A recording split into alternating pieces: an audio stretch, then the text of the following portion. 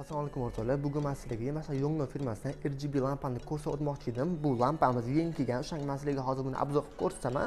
Bu lampamiz ikkita питание bilan ishlaydi birinchi питание bu например сетевой питание bilan ishlaydi и ikkita akkumulyator bilan ishlaydi agar ikkita akkumulyator biz ishlatsak ishlash soati bir yarim soat ikki soat bo'ladi o'rtoqlar.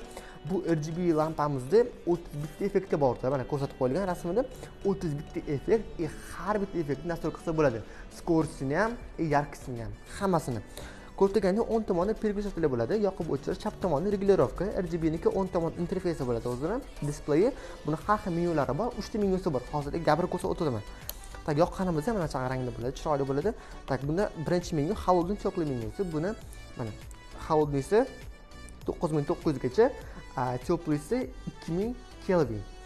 Buni даже яркостlarini hammasini to'g'irlasa bo'ladi o'rtada. Mana ko'rib turganingizdek ikkinchisi yana bitta bossak bu уже mana теплыйga olsa bo'ladi yokida холодныйga olsa bo'ladi. Ikkinchi menyuimiz bu o'sha rgb menyusi mana ko'rib turganda har xil rang bo'ladi o'rtoqlar. Fonoviy решетка juda ham chiroyli fon fonni chiroyli qilib beradi. И как направление qilishsa ham bo'ladi. Направленияda более яркостini pasaytirib qo'ysanglar bo'ladi chunki svet idiyotlari ko'zga tushganda ko'zi ozgina ortadi.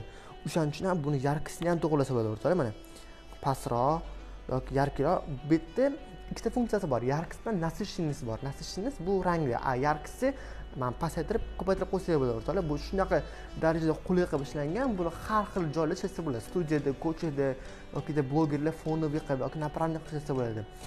Uchinchi menyuyimiz bu уже mana effektlar menyusi o'rtoqlar bunda o'zi bitta e, effekti bo'ladi. Mana hozir sakkizinchi effekt turibdi.